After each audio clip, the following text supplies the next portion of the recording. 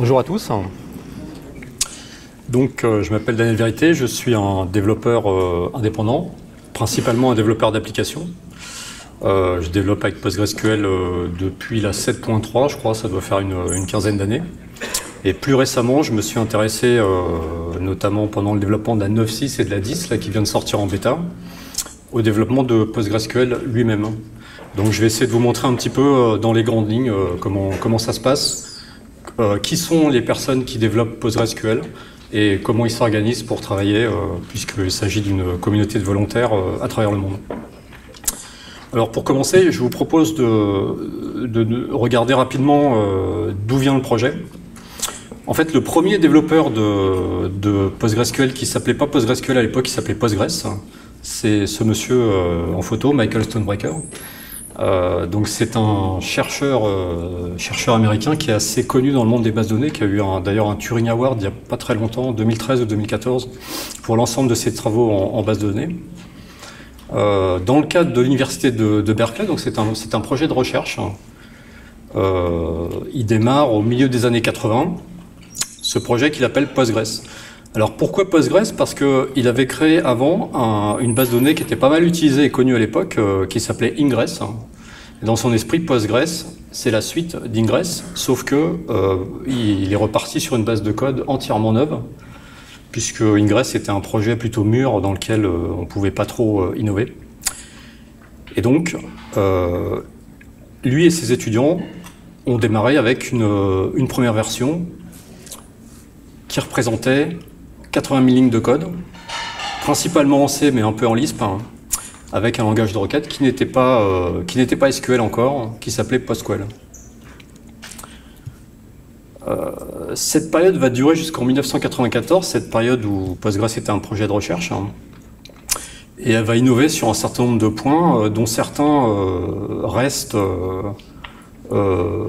extrêmement importants dans, PostgreSQL, notamment le premier, L'extensibilité des types opérateurs index, euh, ça veut dire que notamment qu'on peut écrire en langage C euh, du code pour, euh, pour faire ses propres types. Et c'est notamment ce qui a donné, à mon avis, la, supériorité de PostGIS, par exemple, qui n'est pas dans le cœur de Postgres, qui est une extension, mais qui fonctionne remarquablement bien du fait de l'extensibilité de, de, de PostgreSQL. Il y a des aspects, d'autres aspects qui sont restés. L'héritage, l'orientation objet, c'est un aspect qui a plutôt été, euh, qui a plutôt été euh, au, fil du temps. Il se trouve que les bases de données orientées objets à l'époque, hein, euh, ça pouvait paraître comme étant le futur et finalement ça ne l'a pas tellement été. Les règles métiers, c'est ce qu'on retrouve encore aujourd'hui quand on fait Create Rule. Mais là, c'est pareil, Stonebreaker avait des ambitions qui finalement euh, sont restés à l'état de recherche. Le versionning, euh, c'est le fait euh, que pouvoir accéder à, n'importe quelle valeur dans le temps et de pouvoir lire n'importe quel état de la base dans le passé, ça, ça a été supprimé pour des raisons de performance. À la fin de ce cycle, donc la partie recherche était terminée, Berkeley passait à autre chose puisque leur, ambition, c'est, enfin leur, propos, c'est de, de, faire de la recherche, c'est pas de produire du logiciel. Euh, deux étudiants ont euh, récupéré, euh, récupéré les sources et leur ont fait prendre un virage. Ils ont remplacé PostgreSQL par le langage SQL.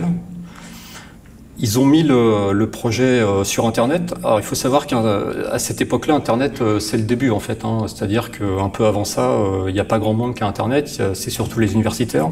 Cette période-là, c'est la période à laquelle euh, on commence à pouvoir collaborer sur Internet à travers le monde. Euh, ils vont créer, euh, ils vont sortir une version qu'ils vont appeler Postgres 95. Rétrospectivement, cette version sera, sera renommée Postgres 5. Donc ces deux personnes ne pouvaient pas suffire, bien qu'ayant fait prendre de virage au projet, ce qui était très important, ces deux personnes ne pouvaient pas suffire. Et en 96, il y a un premier petit groupe de personnes qui ont, euh, qui ont repris le travail euh, de, de, ces deux étudiants et qui ont fait quelque chose qui commence à ressembler plus à la communauté d'aujourd'hui. Ces personnes sont principalement ces, ces quatre-là, donc les gens qui suivent un peu Postgres reconnaîtront certains de ces noms, notamment Bruce Momjan qui est toujours dans le, qui est toujours dans le projet aujourd'hui et qui fait de l'évangélisation Postgres euh, en fait depuis plus de 20 ans maintenant, qui travaille pour Enterprise DB aujourd'hui. Et euh, Marc Fournier qui euh, a fourni dès le départ les, serveurs, hébergé les mailing lists, le serveur CVS pour, pour développer en commun. les deux autres ont fait du, développement principalement. Si on fait une avance rapide de, de 10 ans, en 2006, euh, c'est l'anniversaire des 10 ans de cette communauté et donc de cette, partie du projet, PostgreSQL. Euh, depuis, je crois qu'il y a un peu l'équivalent de cette, euh, de cette conférence développeur chaque année, mais je crois que c'est Ottawa maintenant, mais le plus souvent. Mais ça, c'était ça, la première. Cette, cette cette réunion de développeurs est, décrite euh, par, euh, par les participants comme étant un moment un petit peu clé dans lequel des gens qui euh, discutaient à travers Internet sans jamais se rencontrer, tout à coup font beaucoup mieux connaissance les uns avec les autres, se rendent compte qu'ils sont un petit groupe de gens absolument passionnés qui surtout investissent sur le long terme pour, faire progresser PostgreSQL.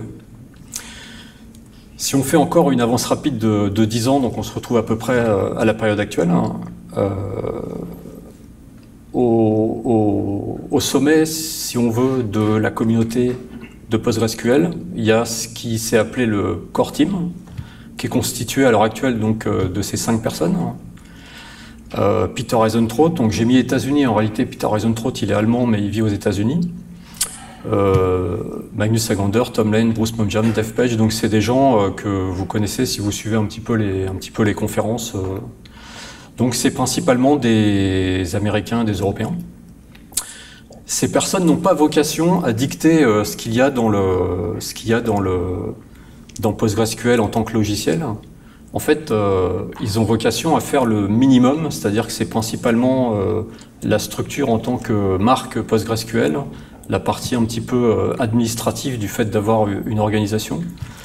Euh, peut-être la gestion des donations, ce genre de choses, mais en ce qui concerne euh, ce qu'il y a dans le logiciel, tout se décide par la communauté.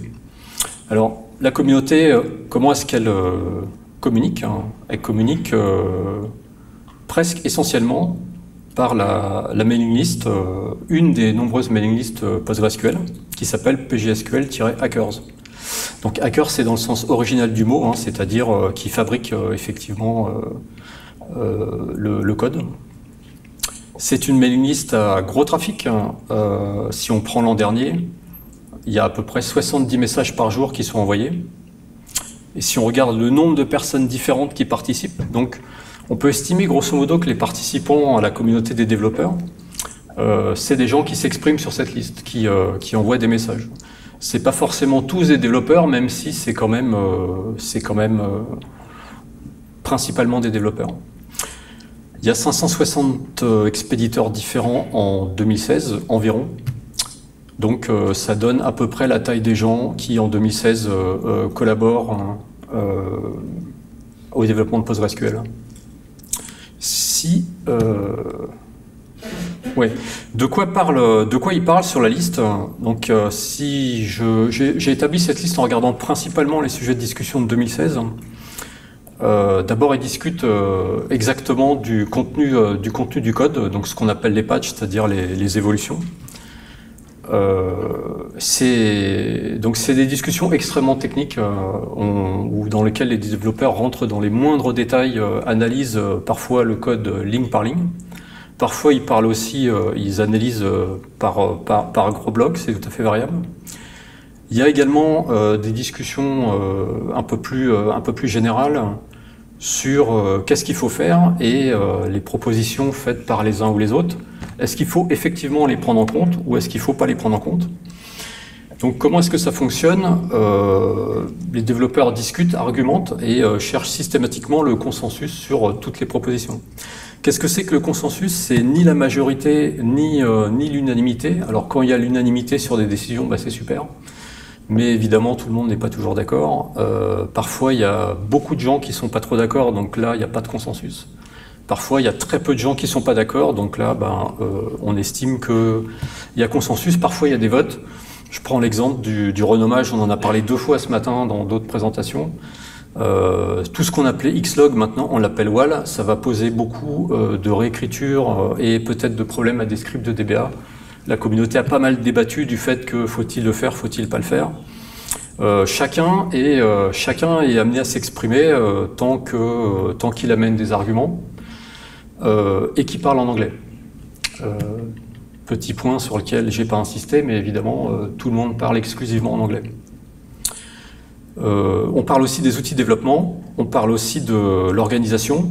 Euh, l'organisation, c'est principalement quand est-ce qu'on diffuse les nouvelles versions pour, pour les, les, les bêta-tests et les versions finales, quand est-ce qu'on juge qu'il est temps de diffuser une version finale. On discute aussi des retours des utilisateurs, donc euh, ça peut donner lieu à des débats euh, assez, assez costauds. Je donne l'exemple d'Uber qui, euh, qui est un exemple récent de, l'an dernier. Donc, à l'occasion du fait que Uber signalait qu'ils utilisaient PostgreSQL, ils ont arrêté pour MySQL. Euh, les développeurs euh, analysent euh, les raisons invoquées et discutent des améliorations à faire pour qu'il n'y ait pas d'autres entreprises qui se détournent de, Postgres.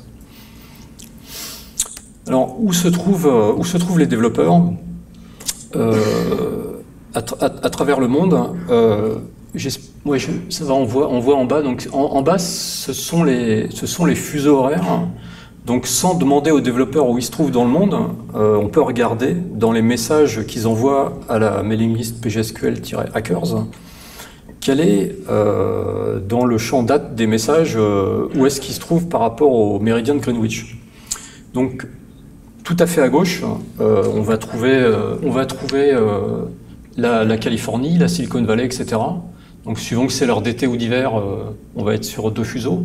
Là, on va trouver plutôt la côte est de l'Amérique hein, et, euh, et un petit peu l'Amérique du Sud. Euh, là, on va avoir bah, nous, en fait. Donc nous, on est à plus 2 en heure d'été et plus 1 en heure d'hiver. Là, c'est l'Angleterre en heure, en heure d'hiver. en plus 3, on va trouver la région de Moscou. En plus 5,30, on va trouver l'Inde. En plus 9, on va trouver euh, le Japon et un petit peu à côté, on va trouver, on va trouver l'Australie. Ce qu'on peut voir, c'est que ça, ça recoupe à peu près les grandes communautés euh, de, de, développeurs euh, PostgreSQL. Donc on peut voir qu'il y a très franchement ici donc plus de, plus de 5000 messages envoyés qui viennent de la côte est des États-Unis. La raison, c'est principalement du fait que beaucoup de committeurs euh, résident, euh, résident, par là. On a Tom Lane, on a euh, Stephen Frost, on a Robert Haas, on a aussi Alvaro Herrera en Amérique du Sud, qui poste, qui, qui œuvre dans cette région. Alors, il y a quand même quelque chose qu'on peut constater, c'est qu'en fait, certes, la, communauté est plus active en nombre de, en participation au niveau des États-Unis, mais quand même, euh, là, si on met en rouge le nombre de gens différents qui participent, c'est-à-dire c'est pas le nombre de messages qu'ils envoient, mais c'est euh, le nombre de personnes, on se rend compte qu'en fait, en Europe, il y a plus de développeurs hein, euh, qui participent hein, que qu'aux États-Unis. Par contre, ils participent moins en nombre. Euh, on ne voit pas tout à fait le même phénomène, euh, le, même, phénomène ailleurs, il y a vraiment une grosse différence. Alors pourquoi? Ben, Je ne sais pas exactement, je ne veux pas imposer des interprétations. Peut-être le fait qu'on euh, ne parle pas tous anglais, ça n'aide pas. en Inde, deux mots sur les communautés russes, Inde, Japon. Donc, c'est des pays dans lesquels Postgres est très représenté au niveau des développeurs. En Russie, il y a une entreprise euh, qui s'appelle Postgres Pro euh, qui, qui participent beaucoup à PostgreSQL au, au, développement. En Inde, c'est Enterprise DB qui a des, qui a des bureaux. donc il y a pas mal de, de développeurs indiens qui également participent au projet. Et puis au Japon, historiquement, il y a une forte communauté, d'après ce que j'ai compris, euh, la différence d'adoption MySQL et, PostgreSQL est inversée euh, par rapport à l'Europe. Le Japon a adopté très tôt PostgreSQL, euh, préférentiellement à MySQL, probablement à cause du fait que ça gérait leur langue, alors que MySQL non. Alors, sur quoi travaillent les développeurs? Ils travaillent sur un matériau qui est le code source. Aujourd'hui, le code source, c'est 3,3 millions de lignes. Souvenez-vous des 80 000 lignes euh, de la V1. Euh, il y a beaucoup de chemin qui a été fait, dont 1,4 million de lignes de code C. Alors tout le monde peut participer à PostgreSQL, hein. il suffit d'écrire euh, d'écrire des bouts de code et de les proposer. En revanche, il y a quand même deux choses auxquelles on ne peut pas échapper. C'est que d'abord, il faut parler anglais pour argumenter et expliquer ce qu'on fait et pourquoi on le fait. Et puis, il faut écrire en langage C. J'aimerais pouvoir vous dire qu'on peut participer sans connaître le C, mais enfin, euh, pour être honnête, euh, ce serait pas tout à fait vrai. Si on ouvre un petit peu le, si on ouvre un petit peu le package et qu'on regarde euh, à l'intérieur du, à l'intérieur du, code source, on va trouver des choses très différentes. ici, j'ai mis, j'ai fait un petit découpage, un petit découpage vraiment très à, à, grande maille en fait. Euh, Bin, ça va être les outils du genre euh, pgdump, euh, psql, pgbasBackup qui sont relativement auto-contenus et auxquels, à mon avis, c'est le plus facile de participer. Contrib, c'est tous les modules additionnels qui sont en fait des extensions. Ça, c'est extrêmement intéressant, notamment quand on veut s'initier au développement, parce que c'est plus facile que la partie d'après, qui est le plus gros morceau, qui contient donc pratiquement un million de lignes le back-end qui est vraiment euh, le, cœur, quoi. C'est vraiment le, moteur. Je m'attarde pas sur le contenu parce que c'est pas le, sur l'intérieur de ça parce que c'est pas le but. Disons simplement que c'est le plus gros morceau. Dans interface, on va avoir euh, euh, comment la librairie qui s'appelle la libpq. pourquoi PQ Parce que parce que PostgreSQL en fait c'est un nom qui n'a pas changé depuis les années depuis le début du projet. on fait plus de PostgreSQL depuis longtemps, mais on n'a jamais voulu changer le nom. Et puis il y a ECPG qui est un petit peu l'équivalent du procès d'Oracle pour ceux qui pour ceux qui connaissent Oracle, c'est du c'est du SQL embarqué dans, dans, du code C. Il faut pas oublier la doc euh, qui est quand même absolument énorme avec 376 000 lignes et qui fait partie intégrante euh, du projet, c'est-à-dire que euh, les modifications à la doc suivent le même processus que les modifications au code source. Et une chose qui m'a étonné moi-même en regardant, c'est qu'il y a 490 000 lignes de traduction euh, des messages d'erreur, d'avertissement euh, sur absolument euh, tout, que ce soit le, back-end ou, tout le reste. donc 12 langues, c'est pas exactement 12 langues. En fait, il y a certaines parties qui sont traduites dans plus de langues, mais généralement c'est au moins 12 suivant les, suivant les, les, modules. Alors comment est-ce que les... Qu'est-ce que, font les, qu'est-ce que font les développeurs avec ce matériau qui est évidemment un petit peu énorme? Ils produisent ce qu'on appelle des patchs. Euh, un patch, c'est un fichier qui peut être tout petit ou qui peut être euh, absolument euh, énorme. Par exemple, lorsque dans la 9.6, enfin dans ce qui allait être la 9.6, on a introduit le, parallélisme. Hein. c'est un patch qui a été, qui a été proposé par, par Robert Haas. un seul patch représentait, d'après ce qu'il a expliqué, l'aboutissement de deux ans de développement. Euh, moi, mon premier patch euh, que j'ai envoyé euh, à Postgres, il faisait une ligne. c'était c'était un truc qui disait que dans un certain dans un certain cas de figure, il fallait sortir en erreur au lieu de continuer. Il a été accepté et il a été commité dès le lendemain. Donc c'est pas forcément donc voilà un patch, ça peut être des trucs hyper complexes, ça peut être des trucs hyper simples. Et c'est pas vrai aussi de dire que c'est très compliqué de faire de faire accepter ces patchs, ça dépend complètement.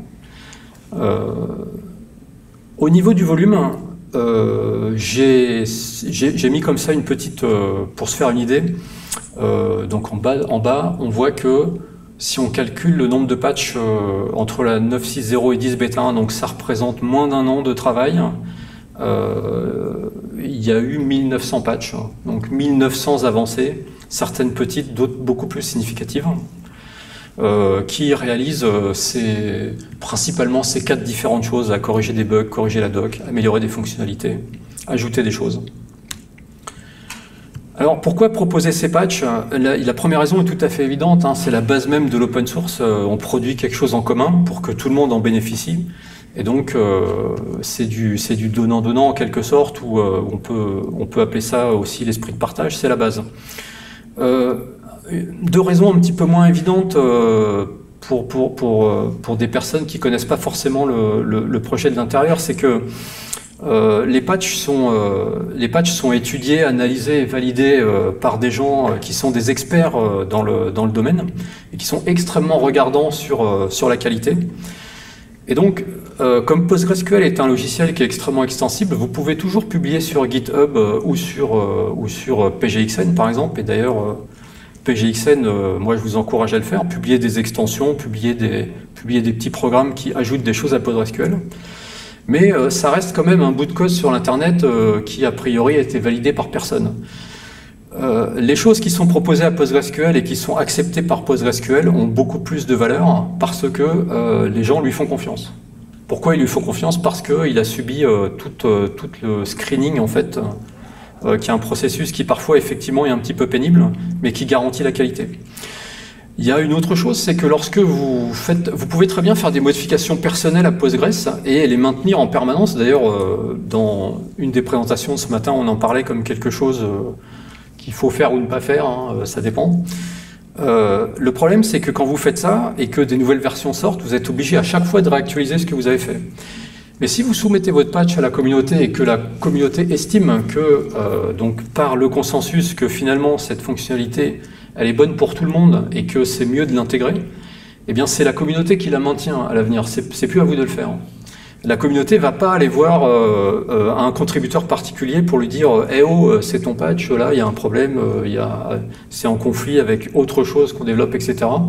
À partir du moment où quelque chose a été accepté, ça devient le travail de tout le monde de maintenir cette chose en conditions opérationnelles.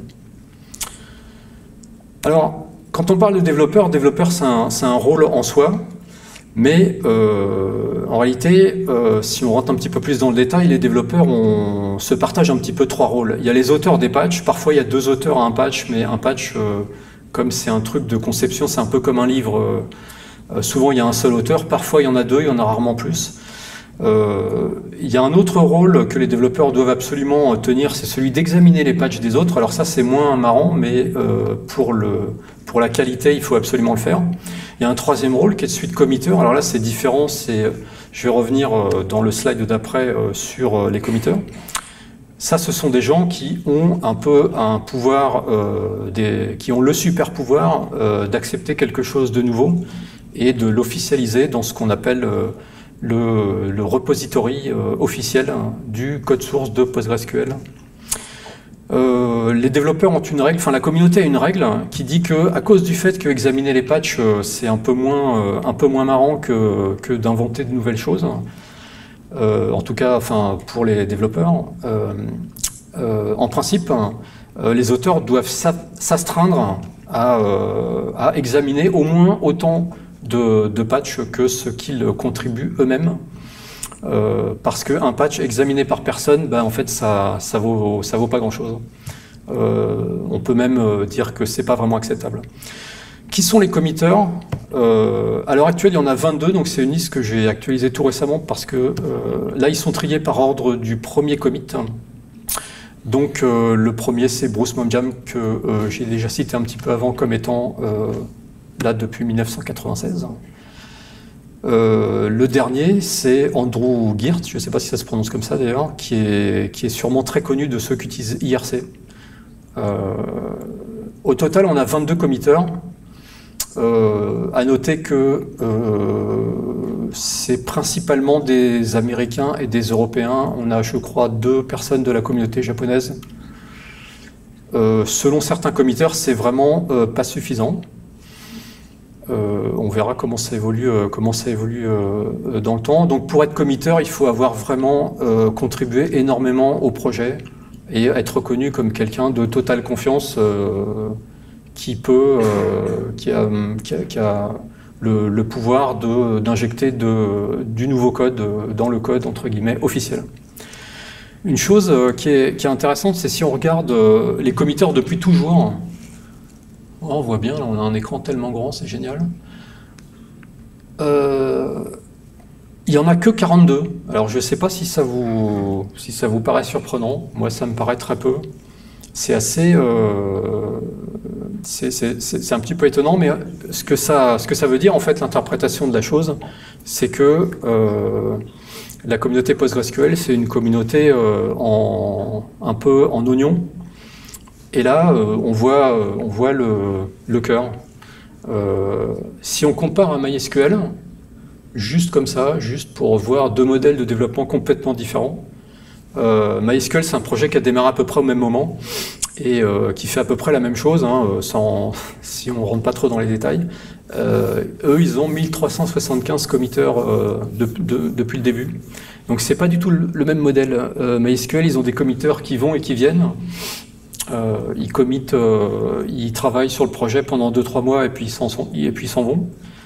Euh, la communauté PostgreSQL, c'est pas du tout ça c'est pas du tout ça son modèle. Les committeurs sont des gens qui typiquement travaillent sur le projet 10, 15, jusqu'à 20 ans, puisque le projet a, un petit peu plus de 20 ans. Pour ceux qui aiment bien les curiosités historiques, à l'ancienne époque, Julian Assange a été committeur de, PostgreSQL, il a commité quelques patchs. Je vous ai pas dit, pardon, à gauche, c'est le nombre de patchs qui ont été, euh, c'est trié par le nombre de patchs qui ont été commités depuis le début. Euh, c'est le même Julian Assange qui fera Wikileaks euh, un, petit peu plus tard. le, donc le committeur le plus prolixe jusqu'à présent, ça a été Bruce Momjam, suivi d'assez près par Tom Lane. Je vais reparler de Tom un petit peu plus tard alors, qui sont les contributeurs? Les contributeurs en 2016, euh, donc ça, euh, c'est tiré d'un exposé euh, qu'a fait Robert Haas à PGConf India. En tout cas, c'est comme ça que je l'ai vu. Ensuite, il a fait un, blog post dont voici l'URL. son analyse, c'est qu'il a pris les, principaux, les patchs, enfin les patchs non triviaux de 2016 et il a analysé le fait que euh, donc il y avait il y, a, eu en 2016 141 contributeurs euh, différents, donc des gens qui envoyé au moins au moins un patch, au moins euh, de quelques lignes. ensuite, si on regarde combien combien ont contribué les committeurs eux-mêmes et les non-committeurs, les non-committeurs, c'est ceux qui ont des petites étoiles comme ça les committeurs, c'est les autres, on voit que, euh, euh, l'auteur le, plus prolixe, euh, c'est Tom Lane. Alors, on peut difficilement faire une présentation des développeurs sans parler de Tom Lane. Tom Lane, c'est un petit peu le, c'est un personnage qui est assez fascinant parce qu'il est phénoménal sur la quantité, la, productivité en fait de son travail sur euh, les, patchs PostgreSQL. Et il est également phénoménal euh, sur euh, la quantité de communication qu'il délivre à la mailing list, à la fois sur des sujets de, très grande expertise, très variés, et en même temps, même pour répondre à des débutants sur toutes sortes de questions, même, même simplistes. Robert Haas est euh, certainement le, deuxième committeur euh, le plus, euh, le plus prolifique. tous les deux sont dans le fuseau horaire 4-5 côte est américaine, ce qui explique à eux, à, eux, seuls, ils expliquent en partie pourquoi les, Américains dominent un petit peu le, le, développement en termes, de, en termes de nombre de contributions. Alors, du point de vue des contributeurs, comment est-ce que, euh, les choses s'organisent? Donc, 140 euh, contributeurs et 1900 euh, patchs, évidemment, c'est un peu compliqué à gérer. les, développeurs s'organisent aujourd'hui à travers ce qu'on appelle des commit fest. Quand vous envoyez des patchs, on vous demande aujourd'hui de bien vouloir les enregistrer en fait sur une sorte de de site web hein, qui est développé en interne par, par le groupe PostgreSQL, qui va structurer un petit peu le moment auquel vos patchs va pouvoir être examinés par, par des volontaires, et éventuellement, si l'examen est positif, le moment où il va pouvoir être comité par euh, un committeur qui va, se, qui va se pencher dessus. Il se trouve que les commit fest définissent aussi euh, les cycles de version. Donc aujourd'hui, on est un peu sur une version majeure par an. Euh, et avant même que cette année, ce cycle démarre, on définit typiquement quatre commit fest hein, qui vont durer un ou deux mois, ça dépend. Et puis on décide que, euh, je vais vous montrer tout de suite le bilan des, dix derniers Commit Fest, on décide dès le départ que à la fin de tel Commit Fest, euh, très probablement, sauf gros problème, on va produire, on va produire une version et le coup près va tomber sur les fonctionnalités qui, euh, qui font partie de cette version. Euh, on pourrait croire que euh, Postgres est développé en se mettant d'accord sur un certain nombre de fonctionnalités, en se disant bon bah voilà on bosse là-dessus, et puis une fois que c'est fini, on va, euh, on va sortir la version par exemple 9.6 en bêta. En fait, c'est pas pas comme ça que ça marche, c'est le contraire. On se dit bah voilà, pour parler de la plus récente de la 10 par exemple, on va se dire la 10 va sortir en mai 2017 hein, et elle comprendra tout ce qui est prêt à exactement telle date. Et ce qui n'est pas prêt, bah, ça dégage. Euh, ce sera pour la version suivante. Et euh, c'est comme ça que euh, la pression est mise en fait sur l'ensemble des développeurs pour, pour, pour en finir avec les patchs qui ne sont, pas, sont pas terminés. Et c'est comme ça que Postgres arrive à sortir, enfin le groupe dans l'ensemble arrive à sortir euh, à peu près une version majeure par an, euh, ce qui est quand même euh, avec un nombre de fonctionnalités nouvelles absolument considérable par version. Alors, sur cet histogramme, qu'est-ce qu'on voit? On voit en vert les patchs qui ont été acceptés, en orange les patchs qui ont été retournés à l'auteur, ce qu'ils appellent return with feedback. C'est-à-dire que c'est pas tout à fait prêt, mais on dit aux gens, on leur donne des indications sur ce qu'il faudrait changer si on voulait qu'un jour euh, la fonctionnalité ou l'amélioration euh, soit effectivement intégrée. Euh, en jaune, il y a ce qui n'est pas fini et qui est remis à, la barre, à la barre suivante, la, session suivante de CommitFest. Et en rouge, donc vous voyez que ça concerne quand même beaucoup moins de patchs. Il y a ce qui est refusé, donc des idées dont on juge que que euh, même sous une forme améliorée, euh, c'est niet. Euh, pour être, pour être concret, je vous propose de regarder plus spécifiquement un patch que j'ai eu l'occasion de proposer dans la 9.6. donc c'est un patch qui a l'avantage d'être simple et facile à comprendre, contrairement à cette requête-là, mais cette requête n'a pas tellement d'importance. L'idée, c'est que, euh, imaginez que vous ayez une requête qui sorte, euh, qui sorte deux dimensions. Donc là, en l'occurrence, c'est une dimension de, date et une dimension de catégorie à laquelle correspondent une troisième valeur. Euh, là, on est à Météo France, par exemple, c'est vrai aussi par la météo. Vous allez faire des mesures, par exemple, de température ou, ou d'humidité ou de vent à un certain endroit à une certaine date. Et en SQL, typiquement, on va sortir des résultats de ce type-là avec euh, une date. Donc là, en l'occurrence, c'est un mois, ça pourrait être un jour, c'est pareil. Avec une catégorie. Euh, là, pour l'exemple, il se trouve que c'est un nombre de messages dans les mailing lists PostgreSQL, ça peut être n'importe quoi, et puis un nombre. Par exemple, voilà, euh, en mai, dans la mailing list performance, il y a eu, il y a eu 51 messages cette présentation est un petit peu bizarre parce que tout se répète. Les mois se répètent et puis euh, les, les, catégories se répètent aussi. Donc ça, c'est normal. Ça, ça reflète pardon, la structure, euh, la structure euh, d'une, la structure typique d'une table. Mais en fait, on peut regarder exactement le même résultat comme ça. Il y, a, il y, a, exactement les mêmes valeurs que dans la chose précédente, sauf que c'est plus compact et c'est plus lisible. Moi, j'ai fait plusieurs fois ce type de travail euh, sur des applications, et euh, je me suis dit, ben, euh, j'aimerais bien l'avoir dans PSQL sur n'importe quel type de requête, en fait. Donc, j'ai proposé dans la 9.6 ce, patch qui fait ce, qui en fait prend un résultat en gros de cette forme et qui va le présenter sous cette forme sans absolument changer la requête, en lui disant juste présente-le-moi, présente-le-moi comme ça. Donc juste en demandant, en faisant ce genre de truc. Quoi. Il est également possible de le faire en pivotant. Donc ça, en fait, on appelle ça un pivot ou une requête ou une requête cross-tab. Il est également possible de le faire à l'inverse.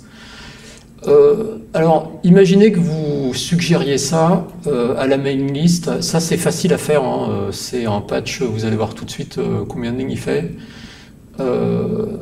Voilà, comment ça se, passe en fait. Hein. voilà comment je peux faire le, bilan d'un patch qui fait quelque chose qui est assez facile à comprendre. les différentes discussions entre le, entre le moment où euh, je propose l'idée à la liste, donc avec euh, ce qu'on appelle un, premier page qui était un proof of concept, qui était assez simple, qui est de dire euh, voilà le grand schéma, qu'est-ce que vous en pensez Donc qui faisait 290 lignes de C, hein, c'est pas grand-chose. au final, le patch fait 1500 lignes, donc ce patch a été accepté après quelques discussions les discussions, en l'occurrence, euh, c'est 185 mails. Donc, ça peut paraître beaucoup ou pas beaucoup. Euh, c'est libre à l'interprétation. Euh, cette discussion implique 19 participants. Souvenez-vous qu'il y a 560 participants différents dans, dans l'année, dont 8 committeurs. Donc, ça veut dire que il y a quand même pas mal de gens qui, euh, euh, même pour un patch qui est euh, dans PSQL, qui n'est pas, pas du moteur, pas mal de gens donc réagissent et, s'intéressent. Je ne l'ai pas mis là, mais je crois que ça, ça s'est étalé sur trois commit fest, il me semble, le, patch. Moi, je me suis pas pressé. Hein. Il y a beaucoup de discussions dans ce, beaucoup de discussions beaucoup de modifications, 16 versions différentes envoyées à la liste, tranquille, sans s'énerver. Euh, et la conclusion de ça que, que je partage avec, les, avec d'autres développeurs avec qui j'ai eu l'occasion de discuter, c'est que ça peut paraître un peu surprenant parce que euh, on, peut s'imaginer comme ça, quand on ne connaît pas du tout comment ça fonctionne euh, dans, le, dans l'open source ou dans cette communauté-là en particulier, que on fait un truc, on l'envoie, et puis bon, ben voilà, c'est accepté ou c'est rejeté, mais grosso modo, c'est un peu, c'est un peu oui non quoi.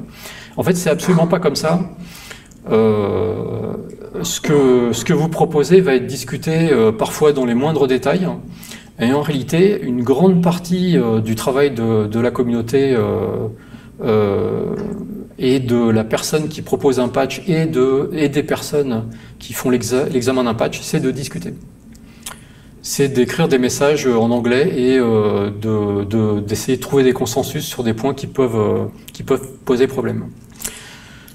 D'autres programmeurs, moi et d'autres programmeurs, on estime que on est sur cette répartition 75-25. Donc la communication est absolument essentielle dans, dans ce travail.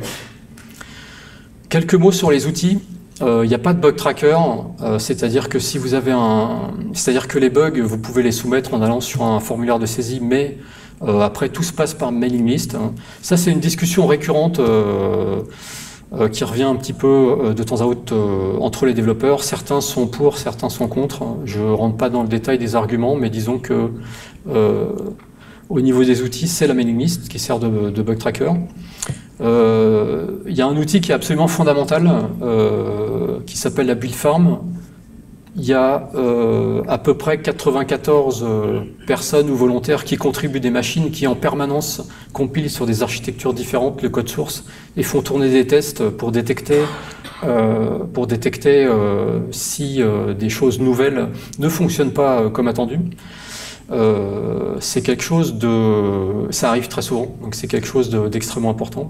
Si vous avez des architectures auxquelles vous tenez et qui sont pas euh, Linux 64 bits classique, euh, c'est intéressant de, contribuer une VM ou quelque chose comme ça pour, pour participer à ça et indiquer automatiquement aux développeurs que sur telle architecture, tel compilateur, telles options de compilation, il y a un problème. Ça permet de gagner du temps par rapport aux phases de bêta. Il euh, y a un outil en ligne euh, qui permet de, savoir en permanence euh, combien de code, quelle est la, part du code qui est couvert par les tests de non-régression. Quelque chose qui peut surprendre quand on ne connaît pas le projet, c'est qu'il n'y a pas vraiment de roadmap. Hein. c'est-à-dire qu'on pourrait s'imaginer que les grands esprits de PostgreSQL se rencontrent, d'ailleurs ils se rencontrent au moins une fois par an, mais qu'ils disent, bon bah voilà, les grandes lignes du projet, ça va être telle et telle et telle chose. Et en fait, c'est pas vrai. personne ne sait ce qu'il va y avoir dans PostgreSQL 11 aujourd'hui. Tout dépend de ce que les gens vont proposer dans, l'année qui vient. Alors PostgreSQL 10, on a une idée euh, vraiment très précise.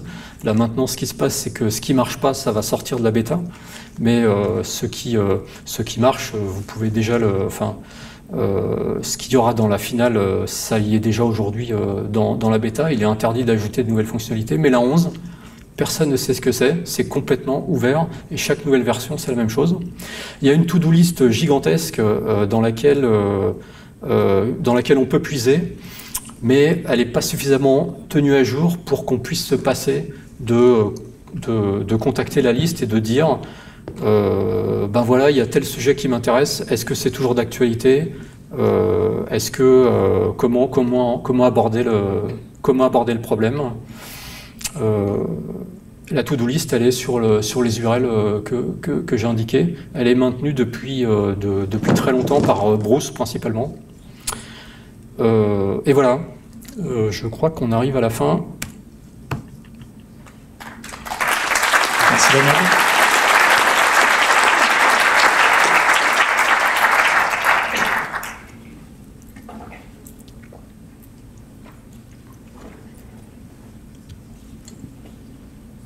Je te remercie pour ta, ta présentation. J'étais très intéressé et euh, en tant que senior, comme on nous appelle maintenant, euh, ça m'a rappelé des souvenirs, notamment sur euh, l'utilisation de l'objet. Lorsque on a développé le premier site web pour Météo France, on avait utilisé, on voulait innover, on avait utilisé une base objet, et quelques temps après, on a cherché l'éditeur, on n'a jamais trouvé. Donc, euh, je me posais une question sur, euh, sur le fait que certains euh, utilisaient, préféraient utiliser MySQL par rapport à Postgre. C'est le cas de Hubert, tu en parlais tout à l'heure. Selon toi, pourquoi? C'est une, une, question très vaste. Sur l'objet, j'avais quelques trucs à dire parce que euh, en fait, moi, la première fois que j'ai utilisé Postgres, c'était en tant qu'étudiant, euh, quand j'étais à l'université d'Orsay, en région parisienne, en 93. Nos profs avaient choisi Postgres pour nous faire faire le projet annuel euh, dans cette matière. J'aurais presque pu en parler dans la présentation, sauf que c'est, sauf que j'avais pas le temps. mais l'objet, en fait, pour moi, dans les années 90, il y avait l'idée selon laquelle ça allait être un truc énorme et que les gens allaient ça allait faire pareil que dans les langages de programmation en fait. Euh, dans les langages de programmation, l'objet ça a vraiment, euh, ça a vraiment pris. Le C++ aujourd'hui euh, a toujours un, comment dire, un momentum. Pardon, je n'ai plus le terme français en, tête. par rapport au C, alors que le C c'est un langage qui est, complètement figé. Dans les bases données, ça n'a pas pris. Je crois qu'il y avait effectivement des, bases comme O2 Technologies, par exemple, qui faisaient de l'objet. Euh, les gens n'ont pas adhéré et euh, d'ailleurs euh, Postgres a pris exactement ce virage. Moi je pense qu'à partir des années 96, qu'est-ce qui, les a intéressés? C'est les performances, la conformité SQL et la stabilité. Et l'objet il est passé par-dessus bord hein, parce que parce que c'est ces trois trucs-là qui intéressent beaucoup plus les gens en fait. En particulier les utilisateurs professionnels, l'industrie, l'industrie en général. Et en ce qui concerne la suprématie de MySQL, euh, de mon point de vue, la suprématie, enfin dans les esprits, parce que techniquement, euh, il n'y a pas de suprématie. Euh, bon, les arguments d'Uber, on ne peut pas revenir dessus, là, c'est un vrai débat, en plus assez technique. Hein. Mais disons que moi, je pense que c'est une question de timing. Pour moi, MySQL a occupé une position, une position forte dans les années, au, début du démarrage d'Internet grand public, hein. et ils l'ont gardé malgré une infériorité technique. Euh, parce que c'est un truc qui s'auto-entretient en fait euh, à partir du moment où ils étaient dans la place.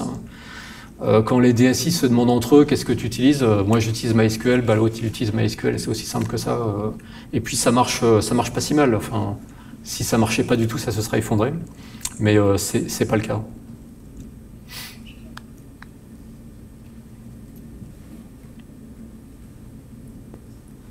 dans un des, des slides, il y avait l'historique avec tous les commits.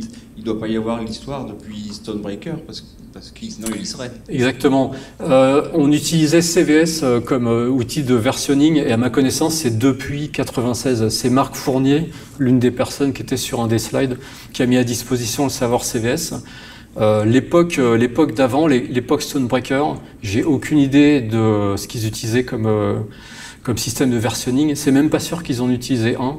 Il faut voir que c'est tellement vieux que, euh, que euh, enfin, je sais pas répondre en fait. C'est, euh, mais en effet, il n'y a pas, il a pas, il a pas effectivement les développeurs de cette époque. Hein, ça, c'est sûr. Dans les copyrights des fichiers, il y a des trucs historiques des de ces années-là encore, ou il y en a plus du tout? Moi, j'ai trouvé quelques traces de, références au code Lisp euh, dans certaines sources, mais enfin, c'est quand même, euh, ça a quand même euh, quasiment disparu. Hein. C'est des artefacts quoi qui restent. Hein. Et dans les copyrights, il reste des copyrights BSD, hein, je pense, un peu partout. BSD, ça veut dire Berkeley Software Distribution. Et donc, c'est Berkeley, en fait, au départ, hein, qui... le financement de départ de Postgres, c'est le système de recherche américain. Et oui, je crois qu'ils sont encore dans les copyrights, je pense. C'est ce qu'on appelle UCB, en fait, je crois. University of California, Berkeley, il me semble. Je crois que c'est un peu partout dans les copyrights. Bah, merci Daniel. Je vous en prie.